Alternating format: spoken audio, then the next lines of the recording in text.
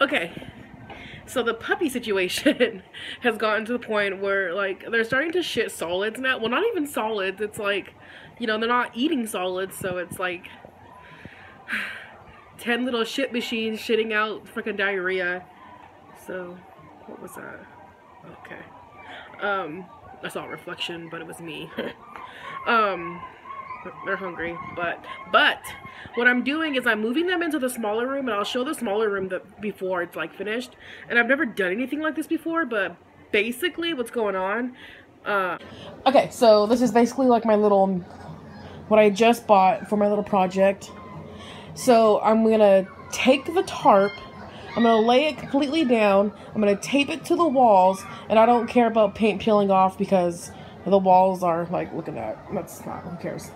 And uh, so I'm going to duct tape the tarp down. Put the cedar chips down. Which is also good and beneficial for the puppies because a couple of them, I saw a couple of fleas on them. And Cuzzle doesn't have fleas, so I don't really know exactly where the fleas came from. But before I put them into the new room, I'm going to baby wipe wash each one because I gave one a bath the other day, but it's going to be really hard to give 10 puppies a bath, and it's nighttime, it's a little cold. But I, they need to be wiped off. And then um, I got the mop bucket to clean the room they're currently in with bleach and stuff. It'd be fun if I got this to wipe them down with. But yeah, oh, then I got them a little egg toy. And it's not the for you. Oh, Kufla, Kufla here, this little thought of a dog, brought home this guy who's super sweet. We let him sleep over last night, but it's really cold outside, and he was whining at the door, so we let him back in. I think the biggest mistake is like we put a collar on him. Not Eddie. Oh, and we're calling him Eddie. But look at him, he's so sweet. I'm so sweet. I know. Oh, Kufla, you got a good boyfriend. Eli, I don't know where Eli went. He's a good boy, Eddie. Okay, so this is the room. You can see why this is like perfect because it's tiny. And for the most part, a lot of it should fit.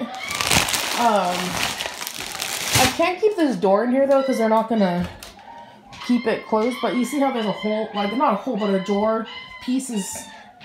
It's not a drawer piece. It's like a just like for looks. It's out of place. This doesn't shut. So I'm hoping to get the tarp more on this side to where I can tape it up to where they can't get in. Well, this spare door kind of like solved that problem. It just, it can't get in, but I can't take this off because it's been painted over and I don't have the tools or patience to try.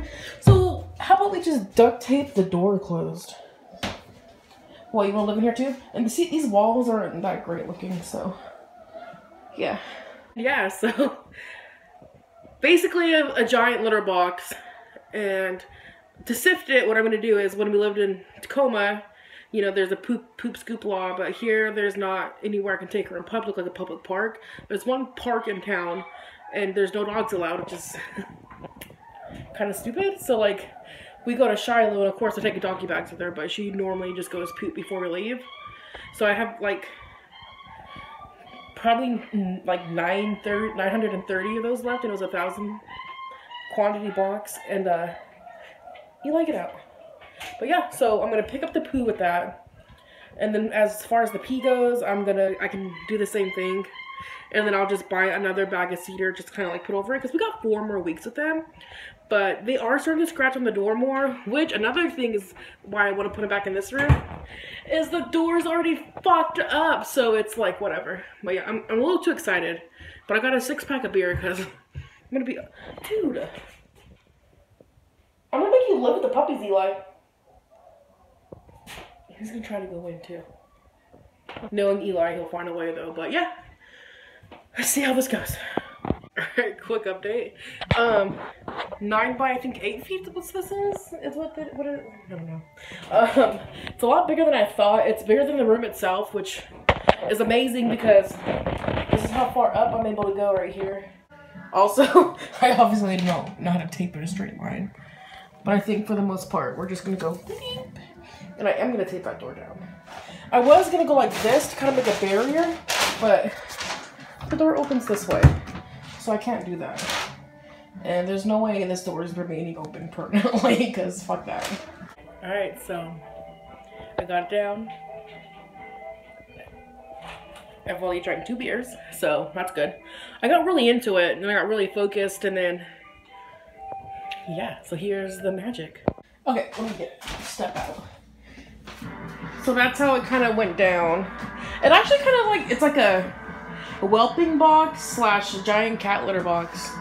So, again, I'm not great with the straight line. And it's also hard to like straighten out a bunch of tarp or, uh, yeah, I just call it tarp. But you see how it started? I, I did that on purpose to start slanting it down so I can close the door and then I even still taped it because I just kind of cut it. And yeah. So what I'm doing right now is I'm going, so this one still needs a single layer, but I'm going to go all the way around and double tape it.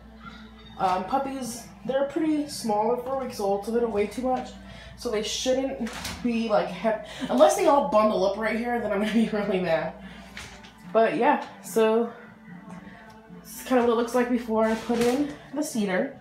I think it turned out pretty decent. Um, because in my mind, like the vision I had was just getting some tarp and then like flat tape, like just straight flat down taping it. Um, but this was actually because I I knew the tarp would probably have some longer sides.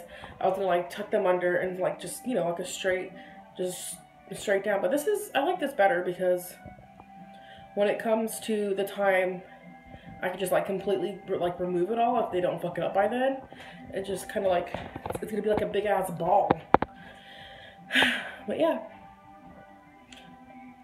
that's what it looks like right now. And the next little clip you'll see is gonna be completely done. Okay, so I think it's taken me two hours, but I'm finally done. So I fed them so they don't have to like be clean and then come in here and get this all stuck to them because or so I don't have to like re-clean them. So it's like bundled, bunched up in a couple little areas, which is why I didn't put enough in to like cover this part too, because they'll be coming to the door and like you know, moving it around. But I'm pretty happy with the results. Are you happy with the results? Are you happy with the results? He's like, I want what those puppies eh? ate. Oh my god. So Eddie, Cuffle's boyfriend, is like the perfect puppy babysitter. Look at, oh my god. That's little Freya,